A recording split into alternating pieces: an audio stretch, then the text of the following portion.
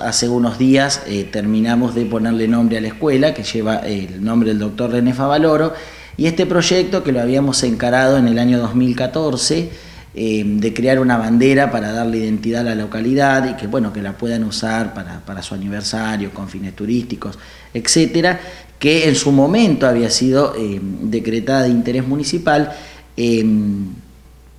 el año pasado, en el año 2016, fue aprobada por la ordenanza número 250 del Consejo Deliberante. Y nos quedaba ponerle el broche de oro a todo esto que fueron casi eh, cuatro años de trabajo. Eh, sabemos todos que fue votada por el pueblo porque fue algo que se dio a, se difundió en su momento y vamos a aprovechar el día 11 de diciembre a las 20 horas que es el acto de egresados para eh, en unos 20 minutitos hacer eh, la entrega de las banderas a las instituciones de la localidad,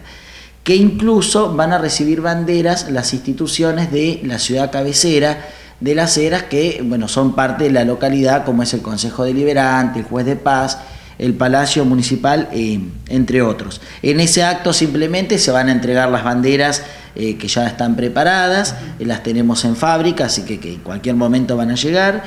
Eh, vamos a entregar algunos reconocimientos a algunas personas destacadas. Vamos a, em, eh, la vamos a izar por primera vez en un hecho histórico. Y eh, bueno, se van a dar algunos discursos pertinentes. Va a ser una ceremonia corta, pero la idea es que bueno, las instituciones de Villars tengan ya la bandera, que la mandamos a imprimir en tela, es decir, queremos que tengan una referencia, que sepan de qué se trata. Para costear gasto, porque bueno, obviamente esto tiene un costo, eh, vamos, eh, preparamos dos imanes. Uno que lo estamos vendiendo en la ciudad cabecera, que es un calendario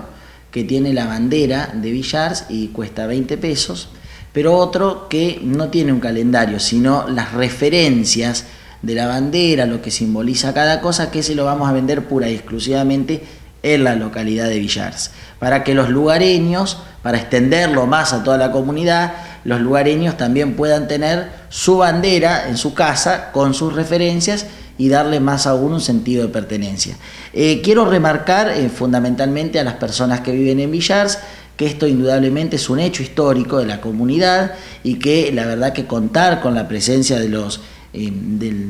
de la población de Villars es muy importante, que va a ser el día 11 de diciembre, reitero, a las 20 horas. En primer lugar los vamos a vender al término de la ceremonia. Recuerdo que en Villar solo se van a vender la bandera referenciada.